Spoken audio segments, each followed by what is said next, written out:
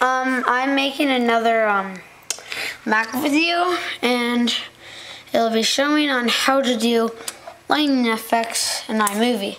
See this clip? I recorded it off of iSight. Let's just drag it up here.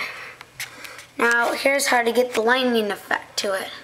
This is just that's gonna get that. Let's See it right there, I want it there. So, we go to Safari browser.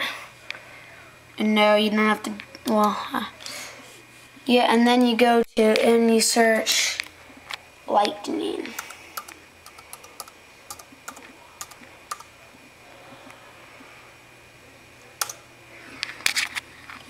And then you go to images. And you click on the lightning you want to go in your movie, and I always click this. You open it. It's nice big size, and you go to add image to iPhoto library, and then go to iPhoto, and go to here. Wait. Yeah, this is my like a video I'm making another one. And then you see this? Now, you go to it. Let's go to it. And if you want it that way to zap the person, you put it like that. If you want it this way to zap the person, you put it like that. If you want it this way to zap the person, you put it like that. And if you want it on an angle, you go to edit. And you go to straighten. Then you just turn it like that. But I'm not going to do that in the first part. So this is just going to be straight in the first part. And you can only have one at a time in the movie, which kind of sucks, but yeah. So, um, let's get out of this. Um, so after it's in your iPhoto library, we're going to go to Finder, and then we are going to go to Desktop, and we are going to search, what am I going to search again?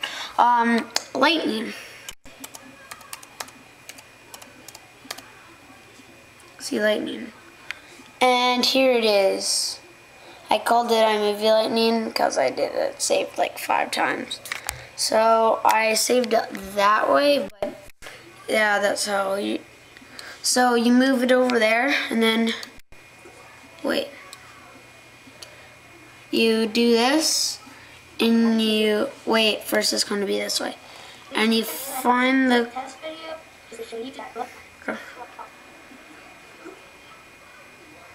right there you want it, right? And then you go to, wait, wait, wait, cancel that. Um, you have, first you have to go to, um, where is it? You have to go to iMovie and then go to Preferences.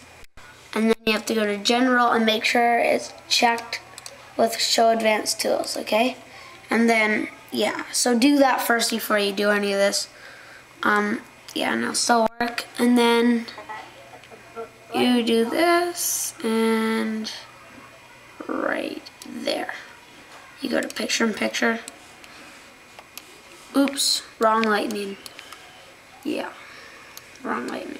So let's delete that. Um, let's go back to Finder. Sorry I'm taking so long, it's just, you know, making reviews can get long.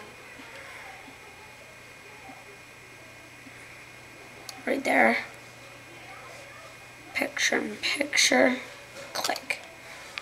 And then you shrink it to the exact size you want it, maybe like that big. And you can have it move, like flash, it's really cool. I'll just, I usually make it a millisecond long, or a nanosecond, I don't know what it is, what 0.1s. It says 0.1s, and then you hit enter. Now just watch that. I'll just... Oh wait, sorry, you missed it. Isn't that cool? But it actually works better if it's bigger. So, watch.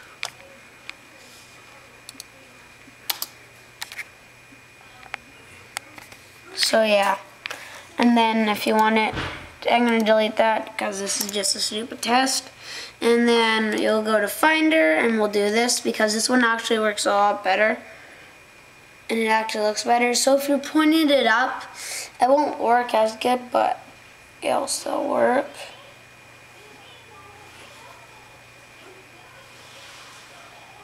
Right there. Picture in picture. And then doom right there. Get to the size you want. Change it to a millisecond or whatever it is. Um, I done. And then go back on it. I'm definitely changing it because it looks sicker when it's changed. So I'm gonna actually change it to that, none, this full hundred, this full hundred, and that um, green, no blue. And done. Now, let's watch it.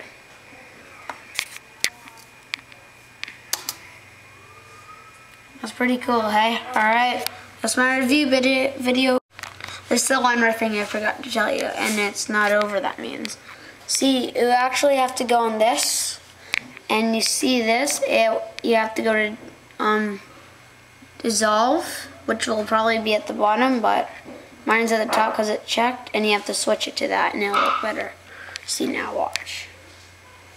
I knew something didn't look right. Now that's how it goes. But you don't have to have a millisecond, but you can put a millisecond, wait like a millisecond in between, and then put another millisecond. So it looks like it flashed and it's really cool.